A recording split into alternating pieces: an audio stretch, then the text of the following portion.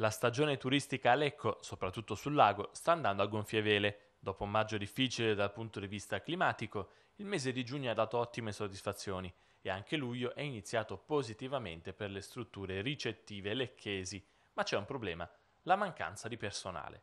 Il presidente di Federalberghi Lecco e vicepresidente vicario di Confcommercio Lecco Severino Beri condivide il grido d'allarme che tanti colleghi stanno lanciando.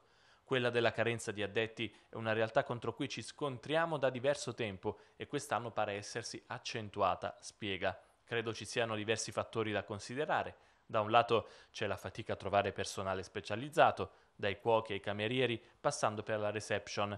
In alcuni casi gli operatori hanno riscontrato mancanza di requisiti base, come ad esempio la conoscenza dell'inglese, ma in altri casi anche la scarsa disponibilità ad accettare orari che inevitabilmente sono quelli di una struttura turistica. Nello stesso tempo ci sono difficoltà anche a trovare persone per profili diversi, come i lavapiatti o gli addetti alle camere. Oggi viviamo un'emergenza anche nelle chiese, continua il presidente di Federalberghi. La stagione è nel vivo e tanti hanno ancora posti scoperti. Credo ci sia un'azione formativa da continuare con i diversi istituti del territorio che preparano i ragazzi Tanto è stato fatto, ma tanto resta ancora da fare. Inoltre si può incidere molto anche sul fronte dell'incontro tra domanda e offerta. Poi c'è un aspetto culturale. Ancora oggi troppi ragazzi guardano con diffidenza a questo mondo, mettendo in risalto soprattutto le rinunce personali che comporta.